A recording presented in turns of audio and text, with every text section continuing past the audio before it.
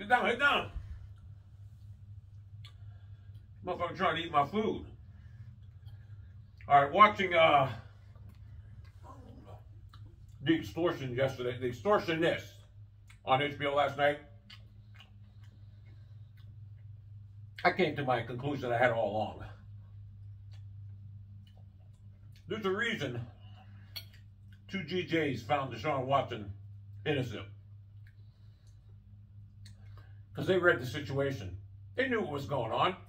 These girls are lying to get paid. That's all it is. Even their attorney, when uh, Soledad O'Brien asked Anthony uh, Buzbee, Tony Buzbee, is there any way your clients can be um, have any ulterior motives? You know what he said? I don't think so. I hope not.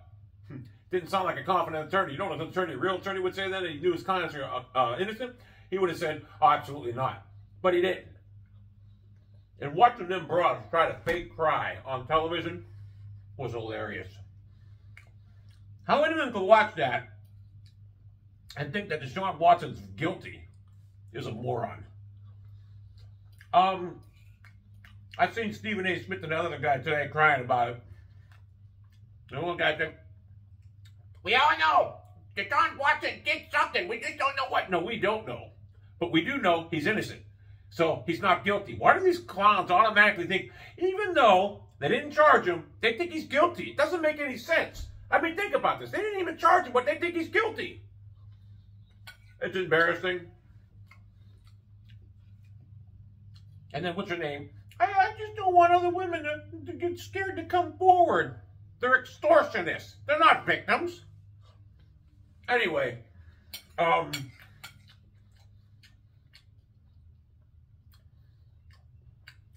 them two women, the one girl says, uh, why she continue to work with Watson afterwards? She was, I was worried about him ruining my business. Oh, okay. What a dumbass. And you can tell, Buzbee don't even care. Buzbee, he didn't care less about it. He just wanted to tarnish Deshaun Watson's image. He's got money. Go look at Tony Buzbee's Facebook. That dude's probably got like $10 million. He's rich. He's loaded. He might even have more. He don't care if he wins or loses. He just wanted to smear Deshaun Watson's name, and he did. He don't care about the women, trust me. Also, one attorney doesn't represent all 22 women. That's that doesn't happen. But this girl, Ashley Solis, went to multiple attorneys that turned her down. I wonder why. So Buzbee took them all. So he basically recruited these um, extortionists to go against Deshaun. You know what? If he wins, he pockets, he lines his pockets. If he doesn't, he got Deshaun's uh, Watson's name uh, tarnished. So, in closing, I don't see how the NFL can suspend him. He did nothing wrong. The consensual sex that happened were initiated by the massage therapist after the session. The last time I checked, being an adulterer is not a crime against the uh, the thing in the NFL. So, I don't see how the NFL suspends him. I'll tell you another thing Watson got going in his favor, too. People don't realize this, but one of the persons deciding his guilt was um, his crime or his uh, punishment is the ex-judge. She's a former judge. She'll see right through all the bullshit, just like the grand jury did. And I'll guarantee you.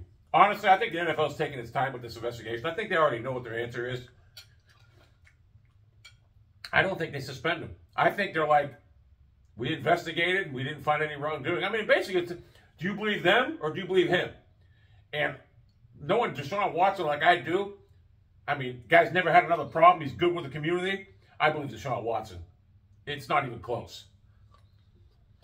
Especially that Ashley Solis. She said she tried getting 100 grand off Watson. I think she was one that allegedly tried extorting her for 100 grand prior to all this happening. Um, no. What I'd like to see happen, I'd like to see the uh, criminal ch uh, charges go against these women for making this up. We need to look at this in the future because this could happen to anybody.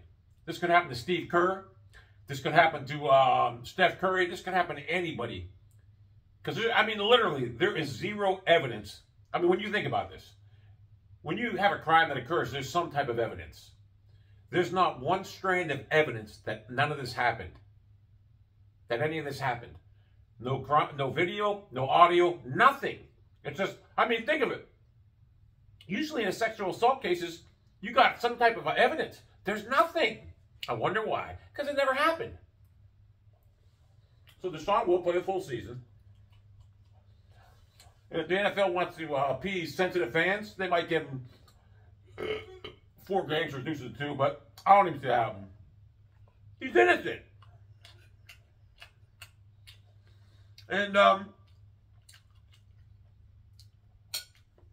like I go, go look at Tony um, Buzbee when he says, um, "I hope not. I don't think so." That that's all you need to know. You know what an attorney would usually say? Absolutely not. He don't even care because he knows it's a money grab. So um, the only people that watch that last night and hate watching are the ones that actually hate watching. They're Mayfield Puffer boys. So Tim Bailey, I know you had to be upset watching that. Deshaun Watson, he won that last night. He won that convincingly. These women couldn't even fake cry. They tried to cry. They couldn't even fake cry. So, hey, I, I'm not going to lie to you years ago I had a back problem. To about I went to about 10 different mass, masseuse or therapists. I went to 10 different massage therapists, right? I was trying to find the one that did it the best. And I kept switching. I could never find the perfect massage therapist. So, when people say, oh, he went to 100, whatever it was, there's a reason. People, when you're, you, you need to have people that know how to work on your body. So Watson's definitely innocent. And like I said, having a former judge deciding his guilt favors uh, Watson because she'll see right through the bullshit. She'll see right through the bullshit. Just think. These scumbags tried sending an innocent man to jail for nothing. because they wanted money. I don't like the fact that this country, you don't even have you, you don't even need to have evidence to tarnish someone's image. I mean, there was there was evidence against Robert Kraft, not against there's none against Deshaun Watson. No. Deshaun Watson, we're behind you. We know what happened.